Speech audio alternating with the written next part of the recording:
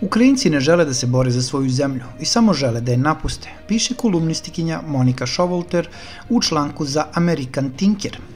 Možda je vreme da Ukrajina započne mirovne pregovore sa Rusijom, napravi kompromis ako je potrebno, da bude realna u pogledu svojih izgleda i da radi na tome da postane dobra zemlja za koju želite da se borite i za koju želite da umrete, smatra Šolter.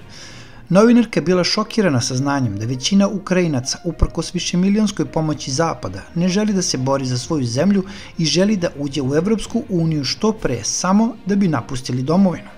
Činjenica da ne misle da je njihova zemlja vredna borbe govori mnogo o tome kakva je to država. Možda je ona zaista deo Rusije, kako Rusi tvrde, zaključila je Šovolter.